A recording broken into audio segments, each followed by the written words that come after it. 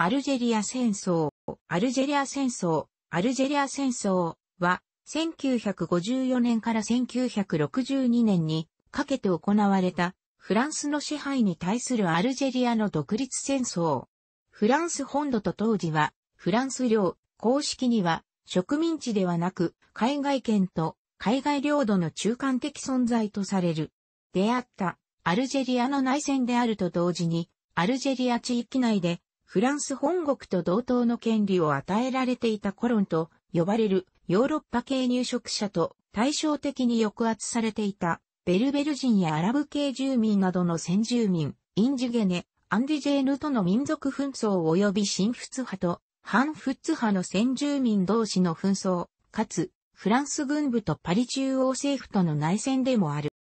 フランス政府では公式には戦争として認定されず、アルジェリア事変、や北アフリカにおける秩序維持作戦と呼称されていたが、1999年10月に、成法改正され正式に、アルジェリア戦と記されるようになった。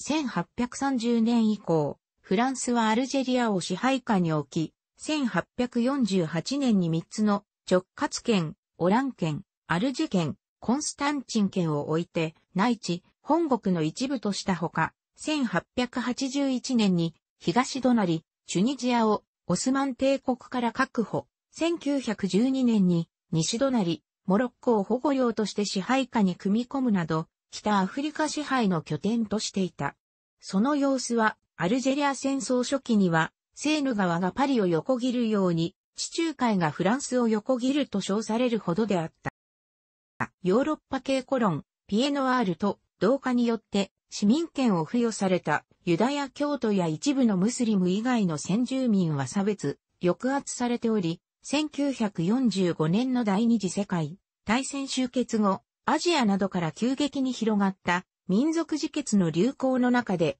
反フッツ抵抗運動が高まっていた。1952年1月に起こったフランスによるチュニジア民族運動弾圧は植民地支配に固執するフランス人の国際的評価を下げた。また、1954年のジュネーブ協定によって、インドシナ4国、南北ベトナム含むが正式に独立に至ったことは、フランスの全植民地、海外領土に暮らす人々を力づけるものであった。1954年、アルジェリア民族解放戦線 FLN が組織され、同年11月1日に一斉放棄を開始した。アルジェリア民族解放戦線は、軍事部門であるアルンを設立し武装闘争を本格化させた。これに対して、ピエール・マンデスイコール、フランス内閣は治安事態とみなして、即応兵力を増強し各地の放棄を鎮圧した。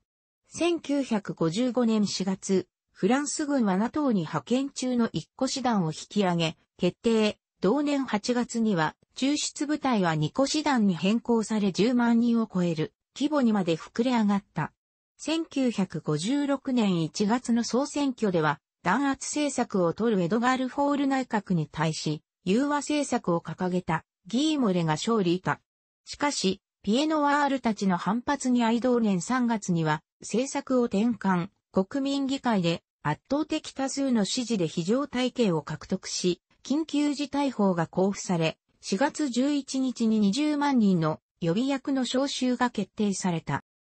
一方の民族解放戦線のゲリラ部隊も最初の1年間だけで6000以上の農場、400の学校を破壊し、数十万の家畜を略奪、他にも道路、橋梁、通信施設を破壊、軍人、警察官や役人、人種を問わず、現地住民を殺害した。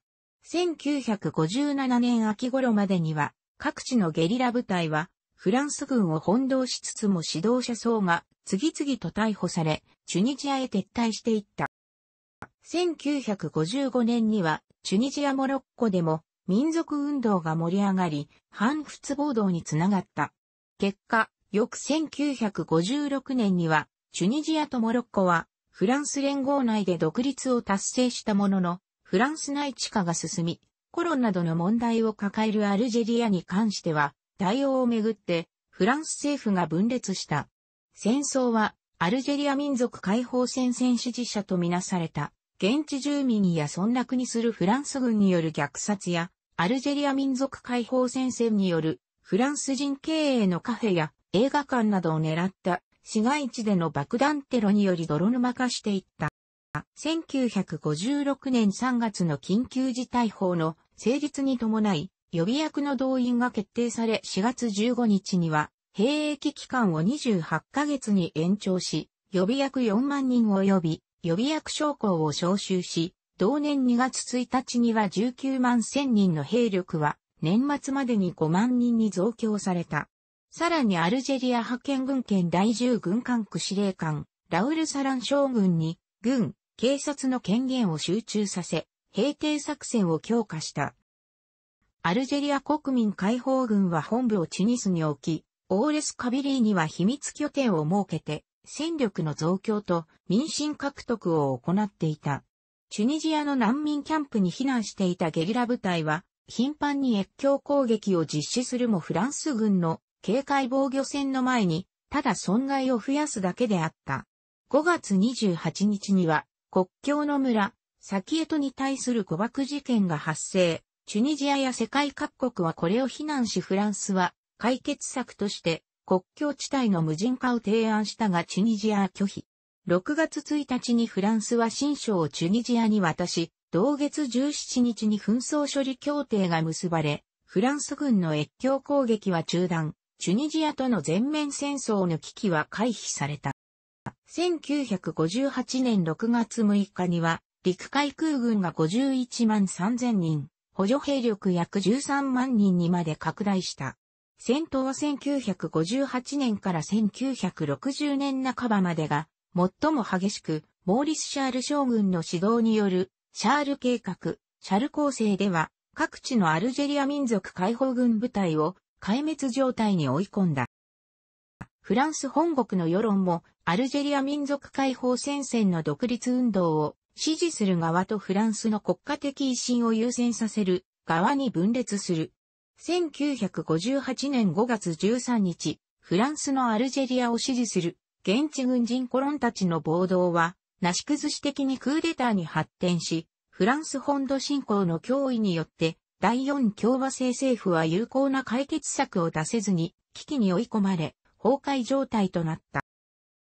政府の出馬要請により、軍部を抑えることのできる人物として、シャルル・ド・ゴールが首相に就任し、9月28日に新憲法を国民投票で承認させ、10月5日、第5共和制が開始された。コロニアルジェリア駐留軍は、ド・ゴールに期待したが、ド・ゴールは、アルジェリア戦争の戦費による赤字財政を危惧し、同年9月にアルジェリアの民族自決を支持した。12月12日に人事刷新を図り自らを担ぎ出したサラン将軍を兵職に追いやり、軍政を廃止して文民であるに統治を委ねた。また、空軍部隊司令官に自らの派閥に近いシャール空軍大将を就任させ、ただし、中核的人物であったジャック・マシュ将軍は、アルジェ地区行政長官に就任させ、中流軍の動揺を抑えた。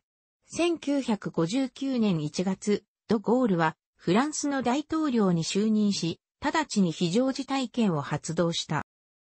1960年、フランスは年頭からアフリカ植民地の独立を次々に承認し、後にアフリカの都市と呼ばれるようになる。1月24日、アルジェでは、マシュ将軍の師団長鋼鉄に橋を発する暴動事件である発生、事態は解決したが、極右活動家や過激傾向の軍人は逮捕あるいは更迭された。このような情勢下でドゴールは7月にアルジェリア平和計画を発表した。これはアルジェリアで戦う軍人とコロンのさらなる反発を買い、11月にはアルジェリアでコロンラのハンドゴールボードを招いた。しかし、1961年1月にフランス本土で行ったアルジェリア独立をめる国民投票では75%がアルジェリアの民族自決を、つまりはドゴールの植民地独立政策を支持した。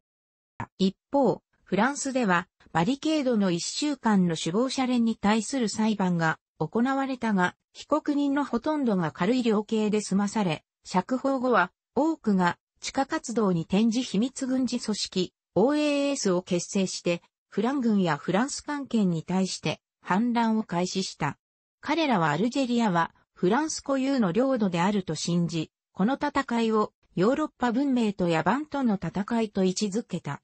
秘密軍事組織はアルジェリアやフランス本土でフランス人政治家や警察官僚らを殺害するなど、テロ活動を活発化させ、1961年9月に度、ゴールの暗殺を計画するが失敗した。だが、暗殺計画の発覚で、コロンと秘密軍事組織への支持は失墜して、フランス本国でもアルジェリア独立の支持が高まった。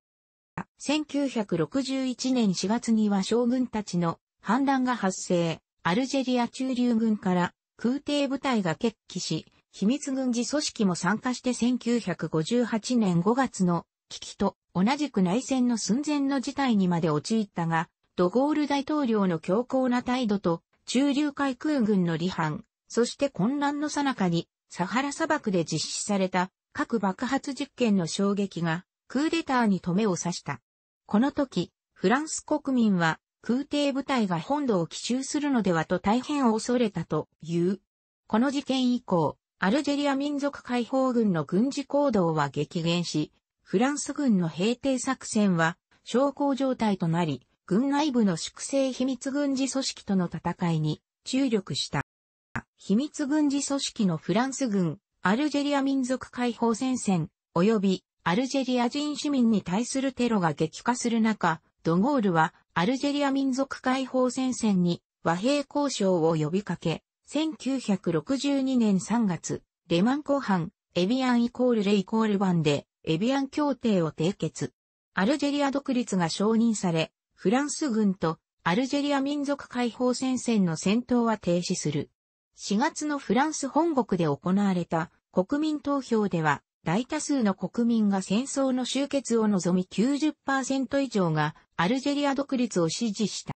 一方、秘密軍事組織はますますテロを激化させ、アルジェリア民族解放戦線を襲撃するほか、アルジェリアをフランス統治時代以前の状態に戻してから返還するとして、フランスがアルジェリア建設してきた近代的インフラストラクチャーをも破壊し始めた。アルジェリア民族解放戦線も報復テロを行い、アルジェリアに泊まることがエビアン協定で認められていた一般人のコロンラは手の応酬による無政府状態を恐れて次々とアルジェリアからフランスへの移住を開始した。秘密軍事組織にもさすがに敗北を認める者が現れ、6月にはアルジェリア民族解放戦線と停戦に至ったが、もはやコロンの大半はアルジェリアを脱出しようとしていた。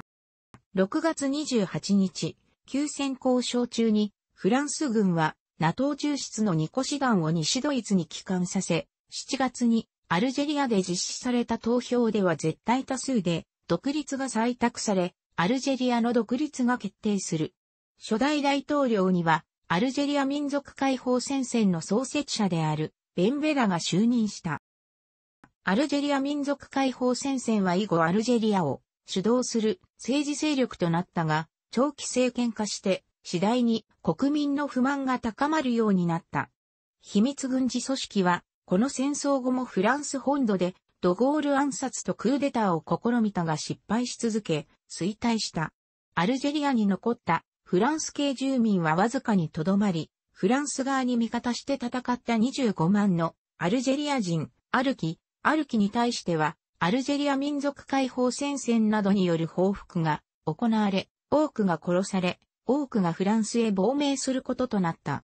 フランス政府は、暴虐政策を行いアルジェリア戦争に関する報道を規制して、過去の汚点として忘れ去ろうとした。しかし、1990年代に入ると記憶の義務運動が起こり、アルジェリア戦争の記録がマスメディアで報道されるようになった。拷問やテロなど非人道的な問題が頻繁に取り上げられ、これにピエノワール、アルジェリアからの引き上げ者たちによる抗議活動が活発化した。2005年2月には、フランスの植民地支配を肯定する法律を成立させ、アルジェリアの支配を正当化しようとしたが、猛反発を招き1年後には廃止されている。2014年、フランス人ジャーナリストが戦争中、モーリス・オーダンら独立運動家が、フランス軍の拷問により殺害されていたこと、それら命令があったことをポール・オサレス大将が認めたことを姿とする書籍を出版。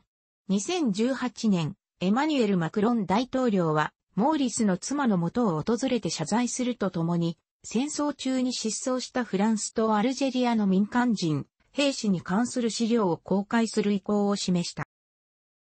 楽しくご覧になりましたら、購読と良いです。クリックしてください。